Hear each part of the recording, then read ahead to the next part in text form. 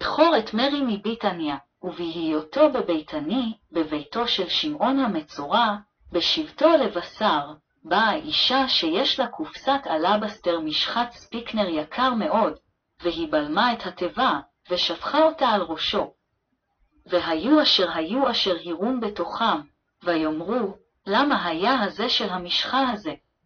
כי אולי היה נמכר ביותר משלוש מאות פרוטות, וניתן לעניים, והם ילמלו עליה, ויאמר ישוע, נתן לה, למה אתה מטריד אותה, היא עשתה עלי עבודה טובה. כי עניים יש עמכם תמיד, וכל אשר תרצו, תיטיבו להם, אבל אותי לא תמיד. היא עשתה ככל יכולתה, היא באה מראש למשוח את גופי לקבורה. באמת אני אומר לכם, בכל מקום אשר תוכרז הבשורה הזאת בכל העולם, גם על זה עשתה, יאמר לזכרה. סימן י"ד שלוש עד תשע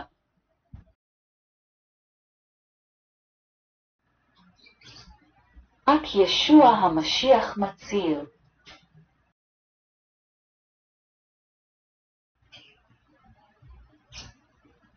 תלד בן ותקרא את שמו ישוע, כי הוא יציל את אמו מחטאיהם.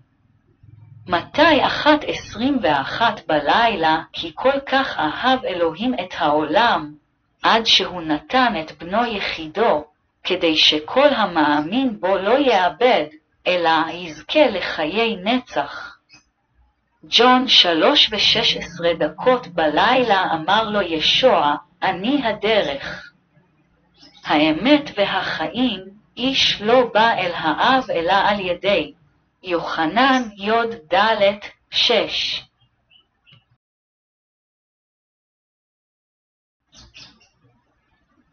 אין ישועה באף אחד אחר, כי אין שם אחר מתחת לשמיים שניתן בבני אדם, שבאמצעותו עלינו להיוושע. מעשי השליחים, ד', 12 כי נתתי לך קודם כל מה שגם קיבלתי, איך מת משיח על חטאינו לפי הכתובים, וכי הוא נקבר. וכאן לתחייה ביום השלישי לפי הכתובים, א' לקורינתים ט' ו' ג' ד'.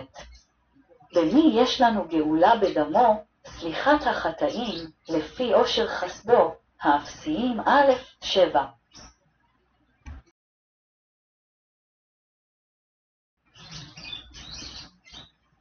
ישנן ארבע אמיתות שעלינו להבין במלואן, אחת, אלוהים אוהב אותך כל כך. הוא רוצה שיהיו לך חיי נצח בגן עדן איתו, כי כל כך אהב אלוהים את העולם, עד שהוא נתן את בנו יחידו, כדי שכל המאמין בו לא יאבד, אלא יזכה לחיי נצח. ג'ון שלוש ושש עשרה דקות בלילה, הוא רוצה שיהיו לך חיים עשירים ומשמעותיים איתו. הגנב לא בא אלא לגנוב ולהרוג ולהרוס, באתי כדי שיהיו להם חיים ושיהיו להם הרבה יותר. יוחנן עשר ועשרה בבוקר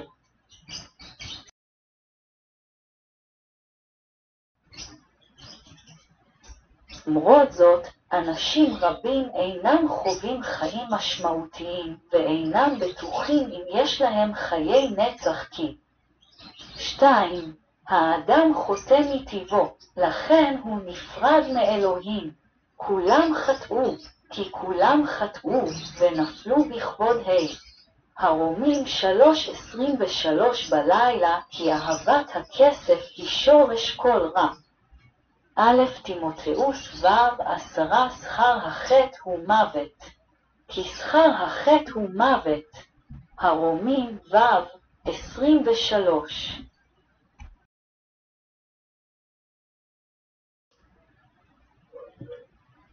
כך מפרט שני סוגי מוות, מוות פיזי וכמו שנקבע לבני אדם פעם אחת למות, ואחרי זה הדין. אבריל ט' 27 מוות רוחני או הפרדה נצחית מאלוהים בגהנום, אבל החוששים והכופרים והנתעבים והרוצחים והזונות והמחשבים ועובדי האלילים וכל השקרנים יהיו חלקם באגם הבוער באש וגופרית, שהוא המוות השני. התגלות 21.8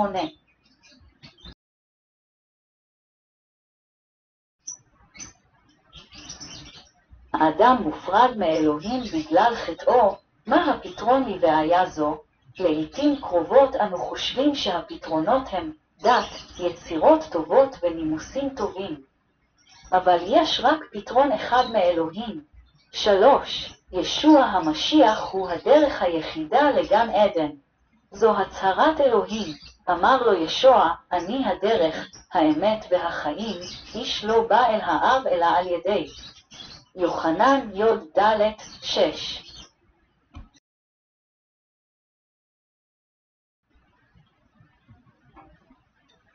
לם את מלוא העונש על החטאים שלנו, כי גם המשיח סבל פעם על חטאים, הצדיק על האבלים, כדי להביא אותנו אל אלוהים, מומת בבשר, אך מתעורר ברוח.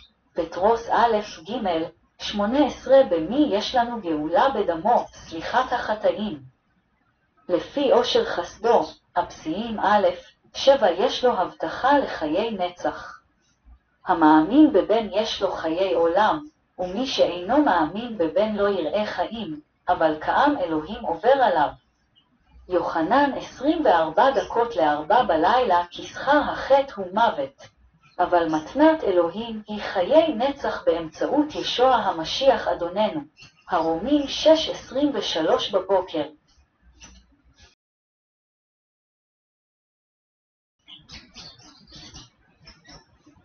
עלינו להאמין בישועה המשיח כדי להינצל. הישועה שלנו מגיעה מחסדו של אלוהים באמצעות אמונה בישוע המשיח. כי בחסד נושעת באמונה, וזה לא מעצמכם, מתנת ה' לא ממעשים, פן יתגאה איש. האפסיים בית שמונה עד תשע, כי כל הקורא בשם ה' יבשע. הרומים י שלוש עשרה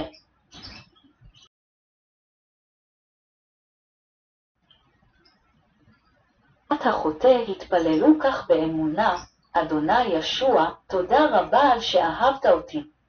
אני מודה שאני חוטא ומבקש את סליחתך. תודה לך על מותך על הצלב, על הקבורה ועל תחייתך כדי לשלם על כל חטאי.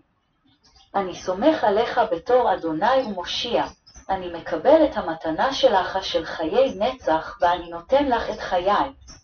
עזור לי לציית לכל פקודותיך ולהיות נעים לך. אמן.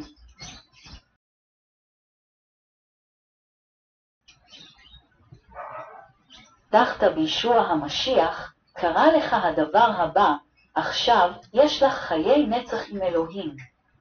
וזהו רצונו של אדוני, שכל הרואה את הבן ומאמין בו יזכו לחיי נצח, והקים אותו בסוף היום. יוחנן עשרים לשבע בבוקר, כל חטאיך שולמו ונסלחו. עבר הווה עתיד, אבל האיש הזה, לאחר שהקריב קורבן אחד לחטאים לעולם, ישב לימינו של אלוהים, העברים י 12.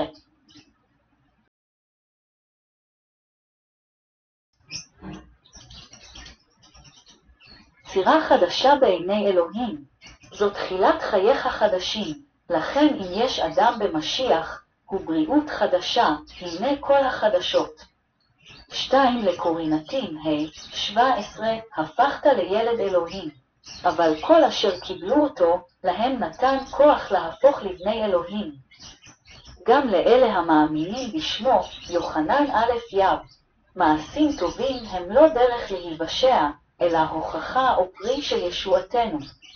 כי אנו בריאתו, אשר נבראנו במשיח ישוע למעשים טובים, אשר אלוהים קבע קודם לכן שנלך בהם. אפסיים בית, עשרה אלוהים יברך אותך,